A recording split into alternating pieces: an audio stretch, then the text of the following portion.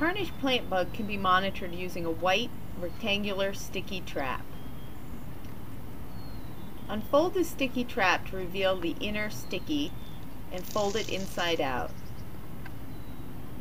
Use the tab to secure the corner. Then use the provided twist ties to secure the top, giving them an extra little twist. Use these twist ties to hang the trap at a roughly thigh height on a lower branch, preferably south facing.